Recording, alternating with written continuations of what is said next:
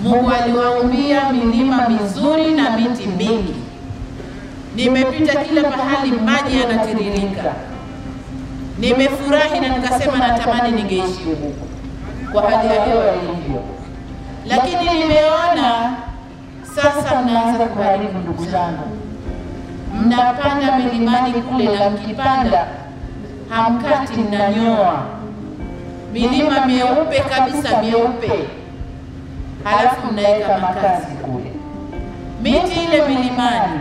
Mungu ameiumba. itengeneze mvua, itengeneze hali ya hewa tulionayo, itiririshe maji. Sasa tukikata na kuweka makazi kule juu na kilimo chengine cha kawaida, tunaharibu mazingira.